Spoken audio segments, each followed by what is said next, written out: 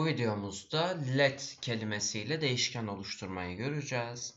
Öncelikle var ile bir değişken oluşturalım ve bu değişkenin sonrasında başka bir blokta değiştirelim. Şimdi blok dediğim kısım ne? Bizim kodlarımızı yazdığımız kısım global kısım, global scope. Yani ben buraya var deyip isim diyorum. Örneğin ismi Ahmet diyorum. Ben bunu global scope'a yazdım. Ben eğer bir if bloğu oluşturursam, if else'i daha anlatmadım ama sonrasında göreceğiz. If aslında bir durumu kontrol etmeye yarıyor fakat biz sürekli doğru olan bir durum oluşturmak için if'in arasına true yazıyoruz. Yani burası sürekli çalışacak.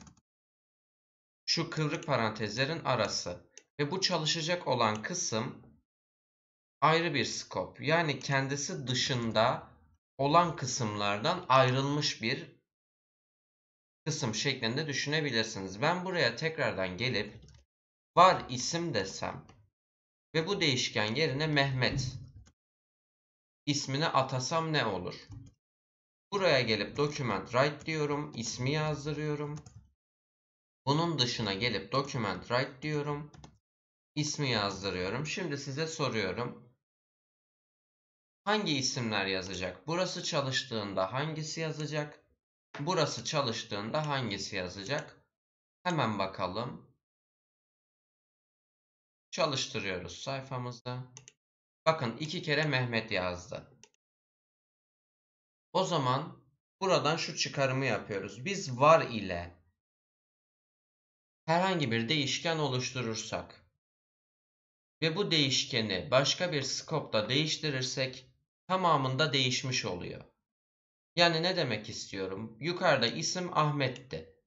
Fakat aşağıda biz bu ismi Mehmet yaptığımızda artık şuradaki de değişti ve biz bunu şu parantezlerin dışında da yazdırmaya çalıştığımızda yine Mehmet yazdı.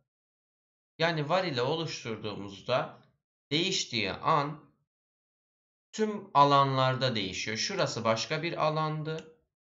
Bunun dışı başka bir alandı, global alandı. Fakat herhangi bir alanda değiştiği an her yerde değişiyor var ile oluşturursak.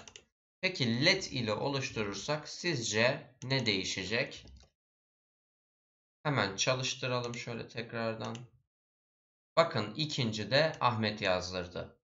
Let ile oluşturduğunuzda ben burada let isim Ahmet dediğimde bu isim sadece kendi alanında, kendi skopunda geçerli olacak. Kendi skopu neresi? Şu ayrı bir skoptu, ayrı bir alandı. Bunun dışındaki globalde.